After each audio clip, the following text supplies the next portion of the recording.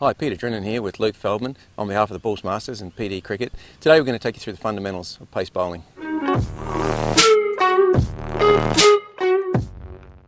Now we're going to go through the gather.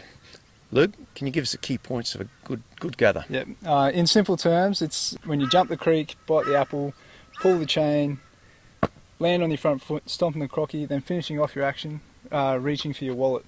Basically, you jump nice and tight when you gather in the ball, throw your front arm 45 degrees so it's nice and strong, gives you a good platform to really pull down hard. Stomping down, so bracing that front leg, trying not to have too much collapse in it, and then finishing off your action with the um, arm pathway going through. Everything should be aimed going towards your target.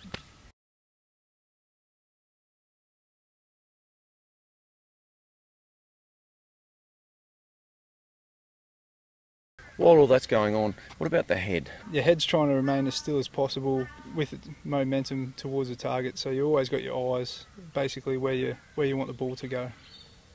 We talk about a side-on action, midway, and uh, a front-on action. Basically, all we're talking about are the hips and shoulders are in alignment at back foot landing. It's really important um, you know, to ensure longevity and, as I said, that efficiency that we're looking at. Look, there's some really quick bowlers on the scene at the moment. What's the key to bowling quick? Oh, to bowl fast, you need nice, strong levers. So when I was talking before, pull the chain. You want your front arm in a nice, strong position at 45, or maybe just a little bit higher, to really give you the maximum amount of strength that you can gather to pull down nice and hard, which is makes you the, the hand with the ball and it come over quicker.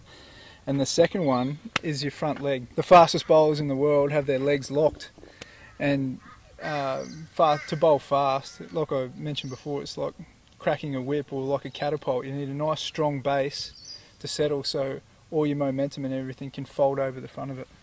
What are the, the keys of a, a good completion?